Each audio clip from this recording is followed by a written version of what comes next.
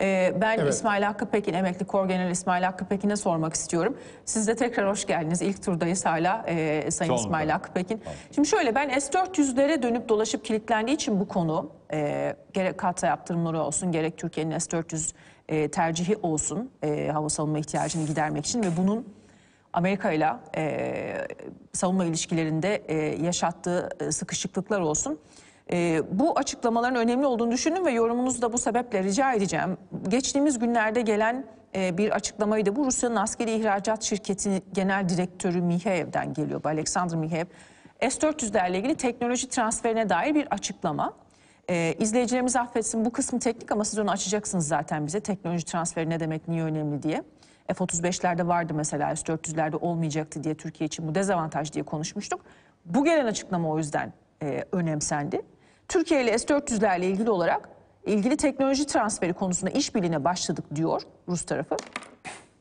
Bazı parçaları ve üretimini yerelleştiriyoruz. Bu konuda çalışmalara başladık. Şimdi bu Rusya'dan gelen açıklamaydı. Ee, sonrasında e, Sayın Cumhurbaşkanı bu akşamki açıklaması e, S-400 parça üretimi konusundaki detaylar hakkında Rusya ve Türkiye detay açıklama yapmamak üzerine mutabık kaldık. Bu tür açıklamalara girmiyoruz dedi kendisine soru yöneltildikten sonra. Şimdi S-400'lerle ilgili Rusya'dan Türkiye'ye bir teknoloji transferi söz konusu mu? Bir kere bununla ilgili e, duymak isteriz cevabınızı. Bilginiz dahilinde paylaşırsanız memnun oluruz. Söz konusu Yani teknoloji transferi bu- nasıl bir transferdir? E, Evet. ve tabii eğer böylesi bir transfer söz konusu olursa Türkiye'de kiminle işbirliği e, yapılmasından bahsediyoruz? E, bu da kasa yaptırımlarını beraberinde getirir mi gibi e, ilk sorunun altında beliren başka sorular da var. Sözü size bırakmak isterim. Arzu ettiğiniz yerden e, Tabii. yorumlamanızı Önce rica ben edeceğim. önce şunu söyleyeyim. Ee, Amerikan Dışişleri Bakanlığı sözcüsü e, sanırım şeyin e, Yunan, Yunanlı bir gaz, gazetecinin sorusu üzerine şöyle bir cevap veriyor. Diyor ki Türkiye'yi S-400 sisteminin elinde tutmamaya ve ilave Rus askeri tesisatı satın al- almaktan kaçınmaya her düzeyde ve her fırsatta çağırmaya devam ediyoruz. Diğer birçok NATO müttefiki Kassa'nın yürürlüğe girmesinden yıllar veya 10 yıllar önce edindikleri eski Rus veya Sovyet menşeli askeri tesisatı işletiyor. Bu NATO ülke müttefiklerinin tümü bu tür tesisatı olan mevcut bağımlılıkları gidermek için çalışmayı taahhüt etti ve çoğu da e, bu yolda ilerliyor. Kassa 231 Kassa'nın yürürlüğe girdiği 2 Ağustos 2017 tarihinde veya sonrasında gerçekleşen tüm önemli işlemler için geçerlidir. Türkiye Kassa'nın yürürlüğe girmesinin ardından önemli bir yeni Rus silah sistemi tedariki gerçekleştiren NATO'daki tek ülkedir. Yani bu e, Amerika'nın görüşünü yansıtan e, böyle açıkça e, yansıtan bir konu. E, şimdi e, sorunuzun cevabına e, geleyim. Bir defa e, Türkiye-Amerikan ilişkileri bozulmadan, e, yeni bir kasa yaptırımları ortaya çıkmadan e, herhalde Türkiye yeni bir tesisat alması mümkün değil.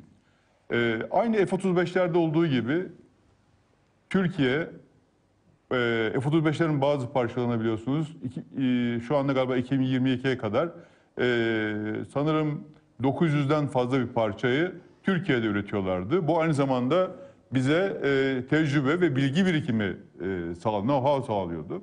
E, aynı şey büyük ihtimalle Rusya için de olabilir. Yani tabii e, Rusya ile yapılan anlaşmaya bakmadık. Ticari anlaşmaya ve diğer konulara bakmadık. Hangi konular e, girdi, teferruatı nedir e, onu bilmem mümkün değil ama bazı bölümleri gizli olabilir. Bazı parçaların Türkiye'de yapılması söz konusu olabilir. E, bunlar mesela e, şey olabilir. E, bu füzelerin e, yani ateşlenen füzelerin bazı parça olabilir ki Türkiye e, ileride e, katı yakıtlı füze yapma imkanına sahip olsun. Balistik füze imkanına sahip olsun. Mesela Çin'le yapılan anlaşmada bu vardı. Çin e, biz Çin'den 1998 veya 97 yıllarında çok sayıda e, şey aldık. E, İpek böceği dediğimiz e, roketlerden aldık 80 kilometre menzilli. Onlar e, bunları verirken bize e, aynı zamanda e, şey 500 kilometre menzile kadar çıkabilecek bir katı yakıt kazanı karıştırma sistemi de verdiler. E, bu ka- kazanın rüşveti aslında aldığımız o e, işte e, roketlerdi. E, 80 kilometre menzil roketlerdi ve Türkiye 500 kilometre menzilli füze yapma imkanına sahip oldu. Tabii e, füze kontrol rejimi var. Füze kontrol rejimi olduğu için e, füzenin başlığının ağırlığını falan belli olması gerekiyor. E, İşte menzilin e, belirli sınırlamalarda olması gerekiyor. Ve e, arkadan e, şimdi aynı şeyi Çinlerle Çinler eğer hava savunma sistemini Çinlerden alsaydık Çinliler bize bu elimizdeki füzeleri hava savunma sisteminden de istifa etmek suretiyle belki e, 1000 kilometre, 2000 kilometre çıkarma imkanı vereceklerdi.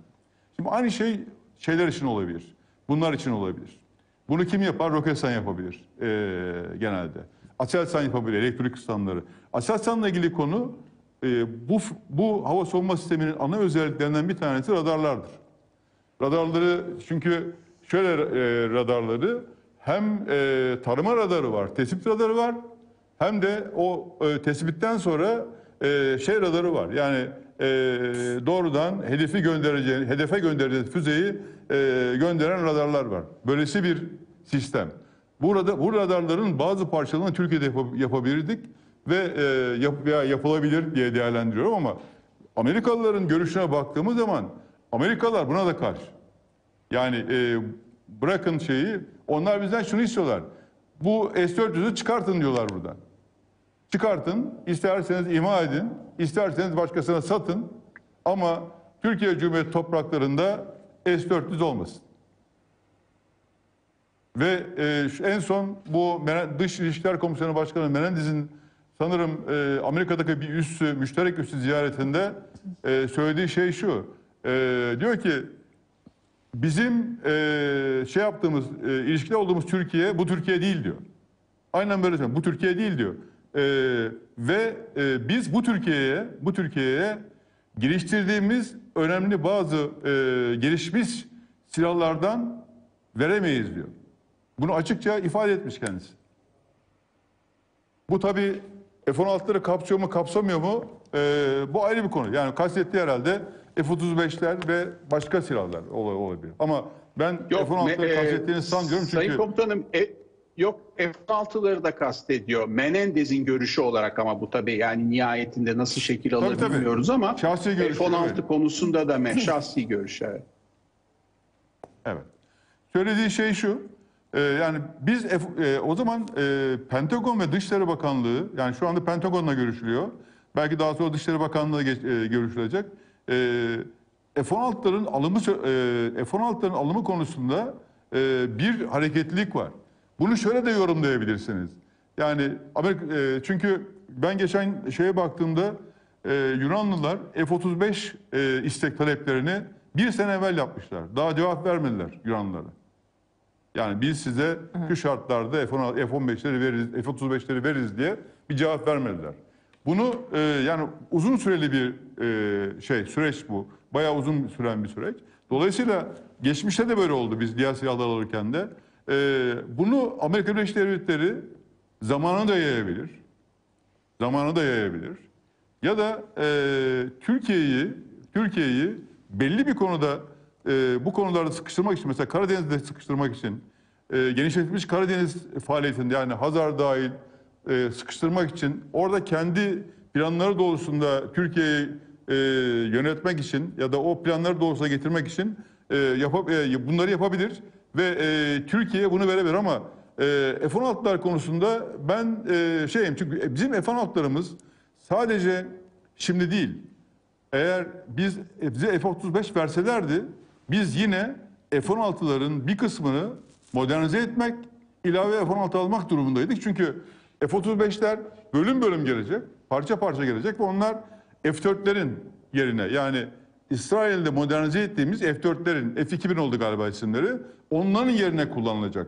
Onlar kalkacak ama sonuçta e, şeyler, silahlar e, şey olmaya başlıyor, e, modernize edilmesi gerekiyor. Mesela